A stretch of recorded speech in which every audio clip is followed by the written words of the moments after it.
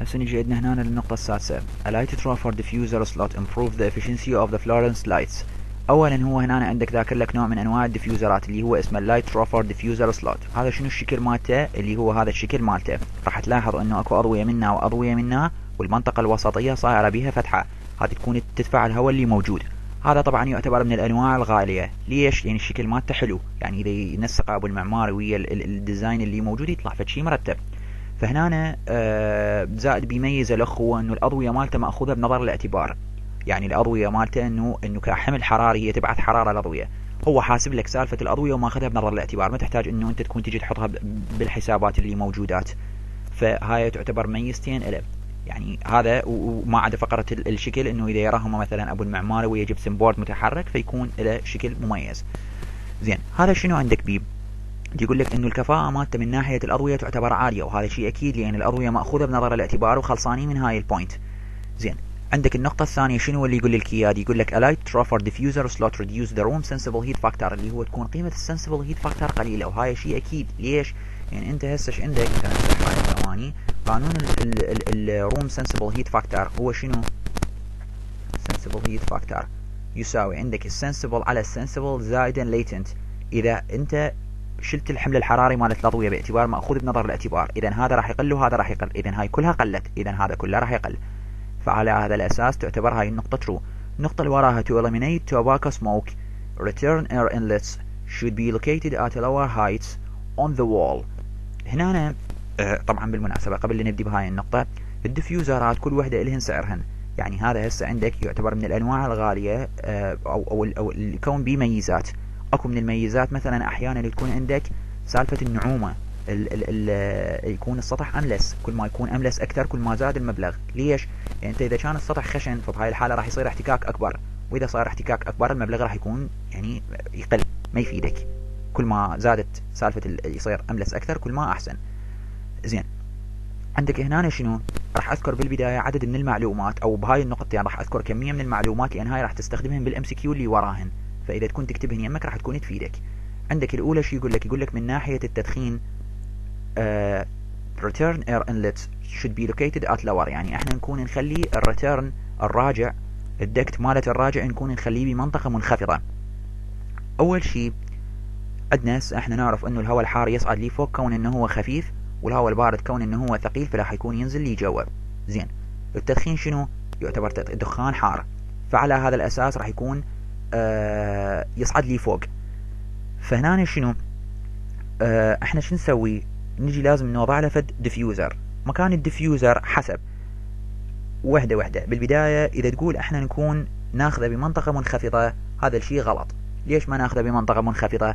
يكون إنه آه ال ال ال ال يعني أني المنطقة الجوانية هي باردة وبيها شوية دخان. فأني بسبب هذا الدخان اللي شوية اللي موجود أني أكون مثلا يعني أسحب كل البرودة اللي موجودة وأخلي ال return جوا. مو منطقي هذا الشيء. فاني شنو اللي أسوي؟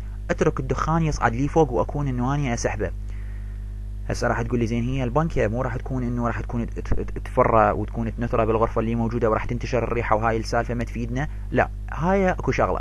المروحة السقفية ماكو منظومة تكييف مركزية يستخدموا لها ويحطوا لها مروحة مركزية. هذا الشيء غلط.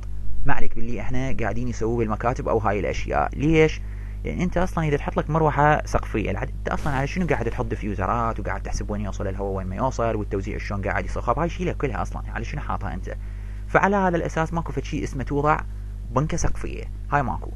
زين الشغله الاخرى شنو هسه أقول إنه هو الدخان باعتبار ماكو بنكة سقفية راح يصعد لي فوق.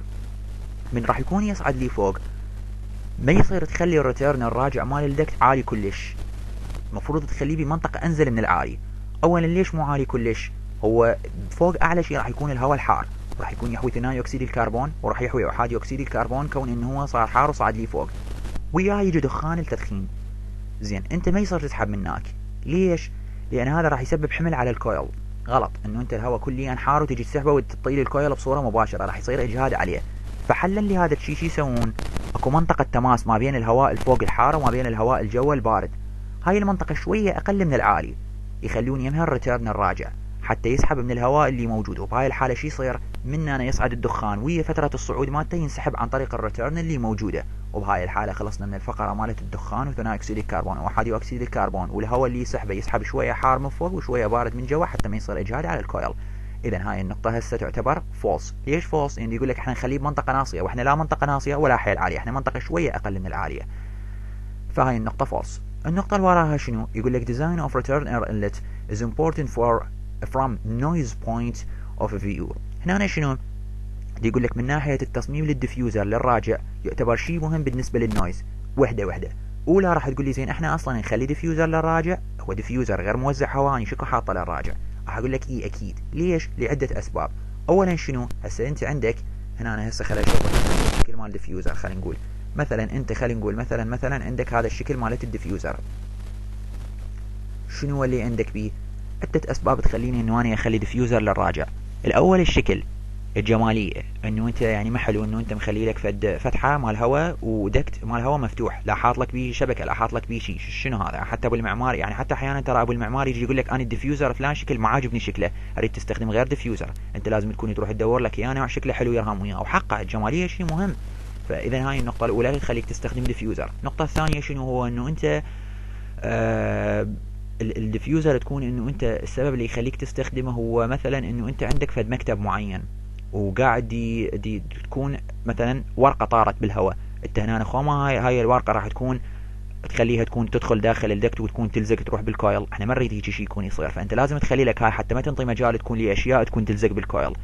أو مثلا علاقة طارت وصارت هيك يعني وهكذا. زين النقطة الثالثة شنو اللي تخلينا إنه نستخدم ال diffuser؟ هو آه فقره إنه أكو مثلا عندك فرنسا عدد من الدول من يمها العراق تفوت فئران. يعني داخل فأر يفوت داخل الدكتات. فهاي يعني لازم نخلي diffuser حتى نمنعها. النقطة الرابعة شنو؟ هو مثلا عندك المستشفيات. مستشفيات أنت الناس عندك مرضى والمرض مالتهم يعدي مثل كورونا وغيرها من الأمراض. خما إنه أنت تجي حاط لك فشي هيجي مفتوح وتخرجه برا. انت من تشيل المرض من المستشفى تطلعه برا. وينك هيك انت قاعد تنشر المرض هنا. فأنت لازم شو تسوي له؟ لازم تكون تخليه له مصفي. يعني أنت هنا هذا هسه هو الدكت اللي موجود. من تكون إنه أنت تخرجه لي برا يطلع منه أنا هذا هسه حيز برا خلينا نقول. لازم أنت تكون تصفيه وتكون إنه أنت تنقيه من الميكروبات والجراثيم والأمراض والأشياء وتنظف هاي المنطقة وتسويها. يلا وراها تكون تطلع الهواء للخارج. ماكو شيء اسمه تطلعها بصورة مباشرة. فهذا السبب إنه أنت تكون توضع diffuser زين. شي يقول لك يقول لك إنه هو شيء تصميم ال diffuser يعتبر شيء مهم من ناحية ال noise وهاي أكيد إحنا هذا شيء مهم. ليش؟ لأن لأن أنت هسه مثلا عندك هنا هواء هوايه وعندك هنا ال diffuser هو صغير. يعني الفتحات مالته خلينا نقول إنه هي صايرة هيك فتحات مالته صغيرة. يعني خلينا نقول هذا مقطع عرضي للمكبر للشكل هذا. إيش راح يصير؟ هاي الفتحة بما إنه هي صغيرة راح يسبب لك noise شو يصير؟ يبدي يصوفر. صافورة يصير. شايف القوري مالت الشاي من يطلع الصوت من يبدي يغلي. هو نفس المبدأ هنا. كمية هواء هواية قاعد تمر عليه والفتحات صغيرة فيبدي يطلع صوت مال الصافورة وهذا صوت مزعج وإحنا ال noise ناخذه بنظر الاعتبار عندك ال noise point تعتبر شيء مهم. اذا ال design مالت ال diffuser بالنسبة للراجع يعتبر شيء مهم من ناحية ال noise. إذا هاي النقطة تعتبر true.